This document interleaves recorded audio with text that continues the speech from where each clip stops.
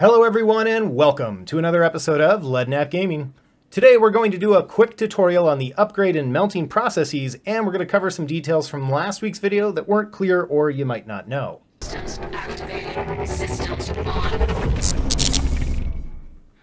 Before we get started, I do want to thank all of you for making last week's video the most rapidly watched video in the channel's history. We hit 1,000 views in 7.5 hours, and 2,000 views in less than 12. Thank you all for sharing the hell out of that and showing up to watch. It means a lot to me. Now, if you're new to the channel and you like the content, please do hit that subscribe button. And because many people still don't know, every month two winners are chosen to have their names added to the hat. And at the end of this year, those names are going to be drawn from to see who wins a new ship, and it'll be something bigger than we normally give away. What? Well, we're going to see what the sale brings us. So, details are in the description section below for how to get entered into that. In last week's video, we talked about how to use the annual sale as a reservation system to get the ships you want, and if possible, at the best price that you can. I know I went fast on a few things, so this week we're going to clarify a few things, and I'm going to demonstrate how to actually perform some of these steps. This video is unscripted, because I'm going through and actually hitting the buttons and whatnot live for you. Normally, these videos are produced over a period of weeks, which is why I incorrectly stated that the IAE convention in the verse would be at Bevic in Area 18. This is normally where this stuff's been, and CIG did not make the announcement uh, that it would be at Microtech until after the video was uploaded. I mention all this just because, again, some things may not be in the order that I would have scripted them into had I scripted this video out. So let's go ahead and dive in and hopefully it'll clarify quite a bit for you. As I mentioned before, you should plan for the sale. And we're going to look at some remnants of my planning from last year. We can see right here, this is kind of how I did this out. And I was trying at this point in the sale to spend only $190 in credit. So on the 2nd of December, these are the CCUs that I picked up. So I picked up an Andromeda to Warden CCU for $35. I picked up a Prospector to a Vulcan for $45. I want to make something clear here that these are not necessarily from seeds and that these I had specific plans for and how I planned them out. But the big takeaway here is this. I got all of this for $190. I went after 24 hours, I melted the, all of these and on the 3rd of December, I picked up all of these CCUs again for the same $190 in credit. Now, you'll notice down here, why did I buy three Freelancer Max to prospectors?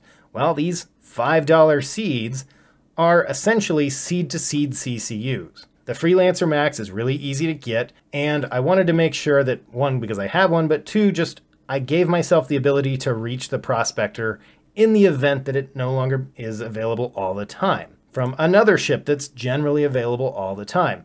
It was $15 in credit that if I never use them, I never use them, but I had 190 to spend on the 3rd of December, so I filled it in. That's what I was talking about with those seed to seed CCUs. For the fourth, you can see kind of the bigger point and why this whole thing is actually valuable to you. The Orion is incredibly expensive. It is currently listed at $675. I had $190 in credit, so there was no way at last year's sale I was going to pick up an Orion. However, I do own a Carrack. Now, I'm not actually planning to melt my Carrack, but even if I took that from my regular seed of an Aquila, that was still going to cost me three, what, uh, 320, I want to say off the top of my head, to 675, more than $190. But a Carrack to Orion CCU only cost me 75. Now I have to work to them, I have to get to them, but I can put these in my fleet now whenever I want to as long as I make these other moves. That's the key, that's what we're talking about. Let's go ahead and take a look at my fleet roster here. This column here, this is the ships that I actually want to have in my fleet. Now, it's not final. You see some question marks and stuff in here. You can change things around if you want. But what I want to show you, one, is a consideration you need to have when you buy LTI tokens. You need to know where you want to put things, and that's important. So right here, this is the package that all of these things come in. And this is an important column to have because when I go into my hangar, I have to know where to actually find these things to apply the CCU. The key here is this though. This UEE Exploration Mega Pack from 2948, which is a concierge package, includes all of these ships. actually included different ships. These are what they currently are in my fleet now. But this is where my 600 exploration ship came from. This is where my Carrack came from. And the thing is, is that I can't melt any of these ships without melting this entire package. That's a consideration you need to bring into this. So the only ships I put in here are ships that I know for sure I absolutely want my fleet that I'm never going to get rid of. Now, some of these might be a little weird to you, but the Pirate Cat, for example, that CCU was a gift. It's something I always want to keep. You can see up here that I'm planning to put my M2 Hercules up here. And even though I think the C2 is a better value, if I only had one, I would take the M2 for a variety of reasons.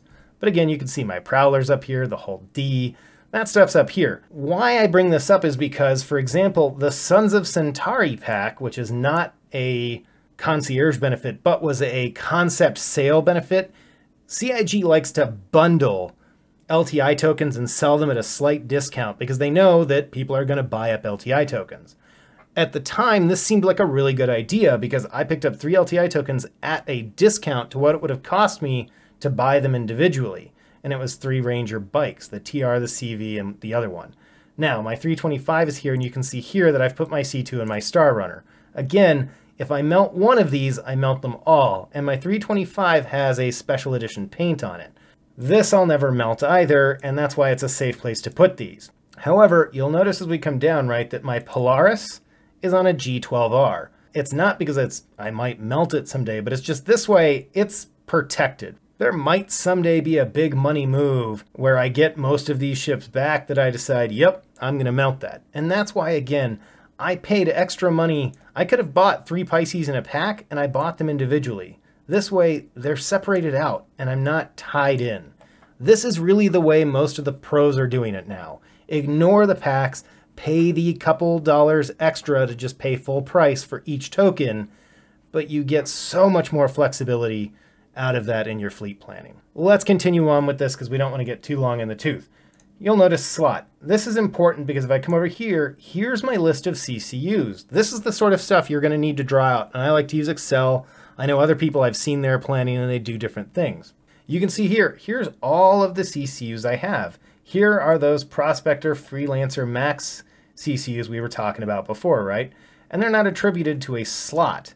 But we can see here, for example, my C2 Hercules is going to slot 10. Today, what we're going to actually be covering is this one right here, my Star Runner to Terrapin. It's a $5 CCU. The Terrapin costs $220. Now, I have a Ranger TR, so what that means is I need to get that Ranger TR to a Terrapin. That's going to cost me $180. What we're going to see here is a little different, and let's go ahead and take a look into my hangar and see where some of this stuff is in real life. So the screen we all have, right, is our hangar. So I want to go ahead and show you this right now. If we go to buyback pledges, here are all of the different CCUs that I purchased and then melted. And you can see I can buy them back. Now they don't have a price because their price isn't fixed. If it's in buyback, if the Ares Inferno price rises, the cost of this CCU is going to rise as well. People get put off by this and they freak out. You have one opportunity to buy back a pledge with store credits. I can buy every single buyback in here right now if I give CIG cash. But every quarter, as I remember it, you get one opportunity to buy back with store credit. That means, for example, last year, like I said, I melted my Corsair to get the money I was going to use for the sale. After the sale, I could turn around and take that same credit and get my Corsair back. If we come back to our hangar, we can see here, here's the Terrapin to Mercury Star Runner Standard Edition CCU that we are going to apply to take a Terrapin to a Star Runner. That means we need to get a CCU from that Ranger bike up to a Terrapin. Now, I've gone ahead and already brought this baby up too. So this is a Prospector to Terrapin Standard Edition. This is going to be an important thing to understand here in just a moment, so remember that we saw this. So now let's talk about a couple different things about the website so that you know how to actually navigate and do this stuff. When you're logged in and you're on the website, you're going to go to the Pledge Store. Now, something a lot of people don't realize, one, these are the starter packages that they show you, but if you click Game Packages or View All Game Packages, You'll see here, you can buy any of these ships to be a game package. I bring this up for a couple reasons. If you own a Cutlass Black game package and you want to melt that, you can. that you can melt your game package. You won't be able to go into the verse, but your account doesn't go away. You can melt those.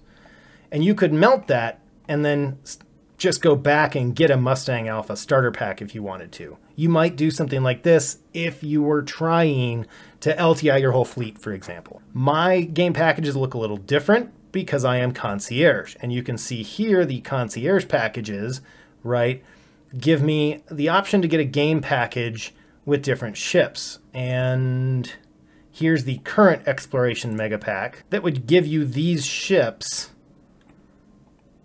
but they wouldn't give you. In fact, this is probably yeah. I can't remember if mine was originally a DUR or not, but this is actually probably the same package, just a little more expensive than my original one, right?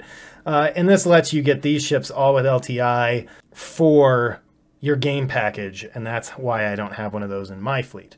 And I just wanted to show you that. But if you just want to buy standalone ships, and again, you're going to get them with whatever they're sold with, but this is important, and you'll see why you go to extras and standalone ships, and you'll notice there's a lot more ships here that you can now always buy. Let's take a look at these, because this is one of the biggest things you need to understand when I talk about seeds.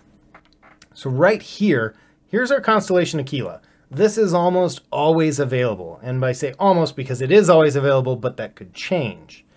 This is the seed I like to use for my very expensive ships because it, prior to the MOLE, was the most expensive ship always available. That could change, but the Constellation is Chris Roberts' like favorite ship. It's his baby, so it'll probably always be available. However, the Prospector is the other seed I really like to use, and here's why. The Prospector is the single person entry level mining ship. That means it's probably never not going to be sold because it's the entry path into the game in a lot of ways, especially if you want to get into mining. The other reason that I use this over a lot of these other ships that, yes, are also always available is because let's make believe that you were using an Avenger Titan as your seed. Well, those Talon LTI fighters that came out a couple months ago that are going to be released in December, those cost more than $55. So if you bought one of those as an LTI token, every CCU that comes out of an Avenger Titan can't be applied.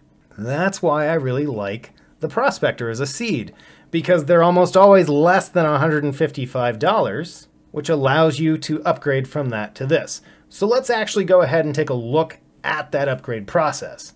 So we come into the hangar and we can see right here, actually let's first go look at my chart here. So today on the channel, we're going to upgrade a Ranger TR to a Mercury Star Runner. I have a Terrapin to Mercury Star Runner CCU, which is what we're actually going to use, but it's a Ranger TR.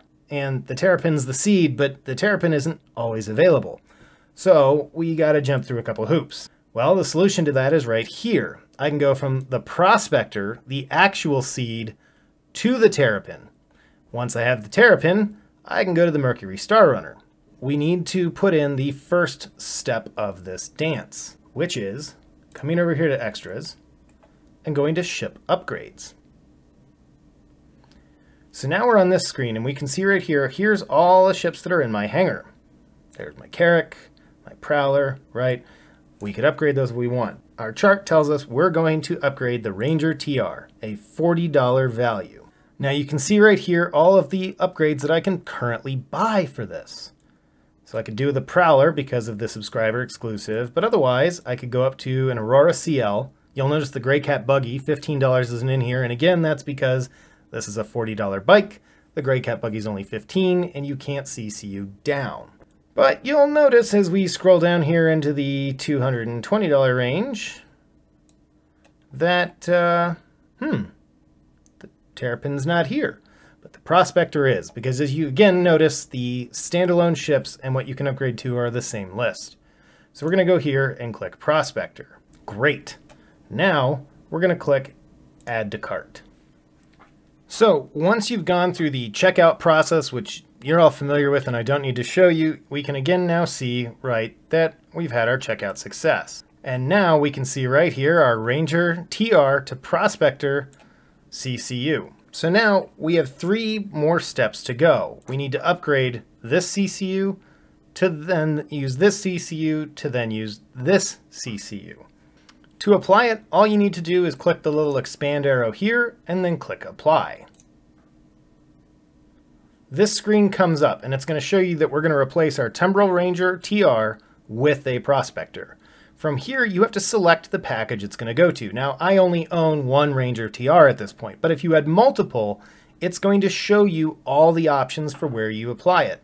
Pay attention to these little numbers at the end because that's a serial number to the individual item in your hangar. And if you owned multiple TRs and you weren't sure which one it was going to be, this would be how you would determine that. So you go ahead and click that and you click next. From here, you need to enter your password. So now that I've entered my password, I'm going to click apply and you can see here now the upgrade was successfully applied. Now, that screen disappears very quickly as you just saw, which is part of the reason I'm showing you this. If we now come look in my hangar, we get down here and we can see right here, right? So we have a Tumbril Ranger CV, which this I purchased individually. This is the Sons of Centauri pack that I purchased. And you'll notice when we expand this, that we see the Ranger CV that still exists in there. We see all the stuff that came with that package, which you'll keep even if you apply everything over it. We can see that 325 that I own, and now we see a Prospector.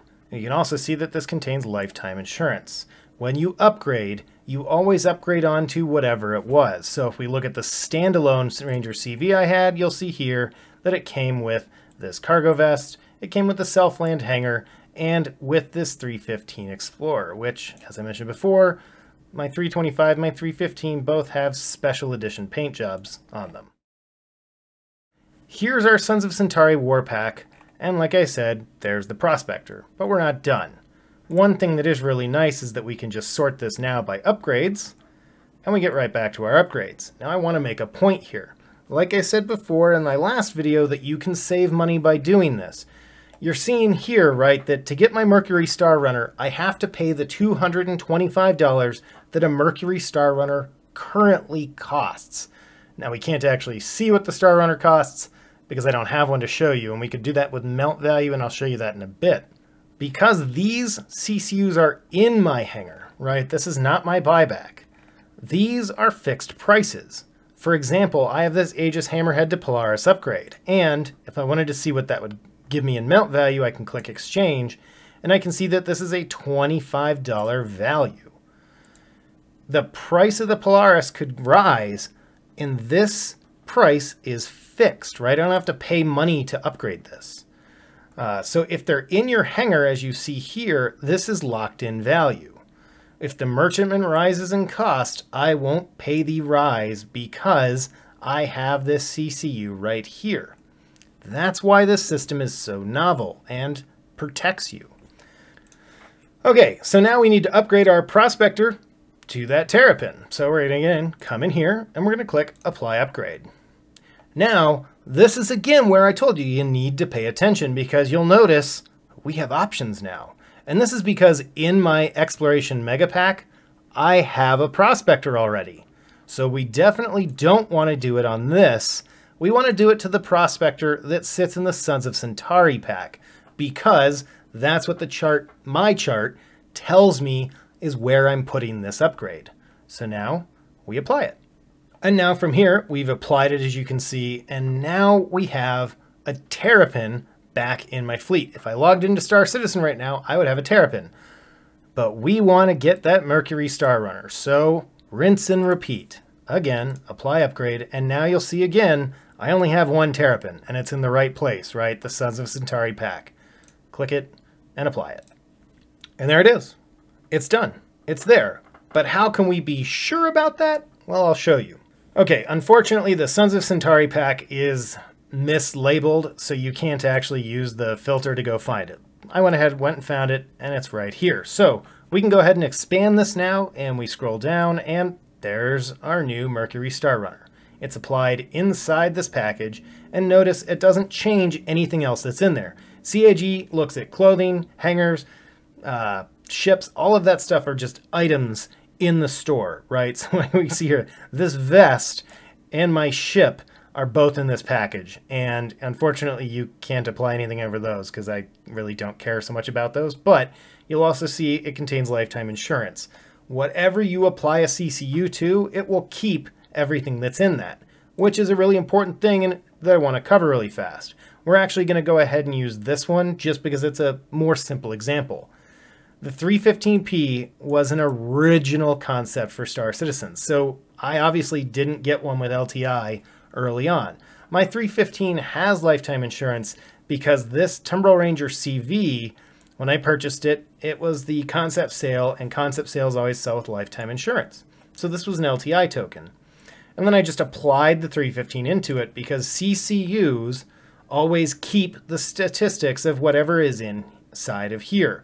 There is an exception to that, and I'll cover it in just a second. If I go to melt this, you'll see I'm going to get $68 value, even though the Ranger CV is a $35 ship bike. If I melt this, I will lose this 315. A Tumbril Ranger CV warrant bond is what is going to go back into my buyback, and whatever I applied to it is gone. You'll get the credit value for it, but you won't be able to buy to a like recover the CCU out of this, which is part of my point when I was talking about that exploration mega pack, right? So when we're looking at this exploration mega pack, if I melt this, I will lose the CCU that I used for this Caterpillar Pirate Edition.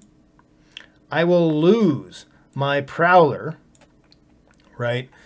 And I will lose any other ships that I put in here. I'll lose those CCs. I won't be able to reapply them, which is why I can't melt this. Because those are ships that aren't available for sale necessarily. If I pull a Polaris in here, I'll lose that CCU. Another important thing to understand, standard edition versus special edition. So this change only occurred a couple months ago. When I purchased all of my CCUs, they were just CCUs, and CIG has made a change. Notice, my Prowler is just a straight up Prowler. When the Prowler released, it included the AV's helmet. This was a bonus. You'll notice today, right, that we upgraded to a quote unquote standard edition Mercury Star Runner. That's probably because when the Star Runner is released, CIG is going to throw some other cool bling in there to make you want to buy it. I'm not going to get that bling. I got the AV's helmet because I already owned a Prowler. However, that has changed. Now I have standard edition ships, which means that they're different from what's released. So keep that in mind. CIG is really moving to this new, you get extra stuff when you buy it on release. And you can do that, which is cool, and you can spend the couple extra dollars that's in that price bump to get those things if you want. You can always wait for ships when they come out on release. A concept when it goes to release is always sold for 30 days. It is always available at that point to be CCU'd to. The exception to this is limited ships like capital ships. Topic for another day. But I just wanted to show you that because this is something new. It's something that hasn't been described very well and explained, and it's something to know. I got the AV's helmet because CIG hadn't made these changes yet, but all of my CCUs now, so you can see here, right? Constellation Aquila to M2 Hercules, but when I click buy back, it's going to throw standard edition on top of it. And that's what that says. Now, I also just want to show you one other thing. Lastly, I mentioned to you that when you apply a CCU, you keep the original value of the CCU. There is an exception, however, and that is right here. If you apply this Prowler to an LTI token, you are only going to get 12 months insurance. It is going to overwrite the insurance and it's telling you it will do so right here. This might seem like a screaming deal because you're going to be able to get a Prowler, and it's not the annual sale right now, and it's not normally sold. But you'll note it includes the Hangar Flair, and it's 12 months insurance. It's not the Prowler Standard Edition, it's just the Prowler. The point is, this will overwrite your insurance. So you need to be very careful of that when you buy CCUs that they don't say and an insurance value, right? So that's why I wanted to show you that. Like I said, guys, I know this was a little longer than I normally do, but I actually wanted to show you the steps and explain in detail a couple things that I didn't explain, and I've sent numerous emails and replied to you guys in the comments. So keep down in the comments. If you still have questions, you need something clarified, hit me up down there. If you've got other tips or ideas, let everybody know down there. Thank you all for watching. Subscribe if you haven't, liked this video, share it with your friends, and as always, I will catch you all next time.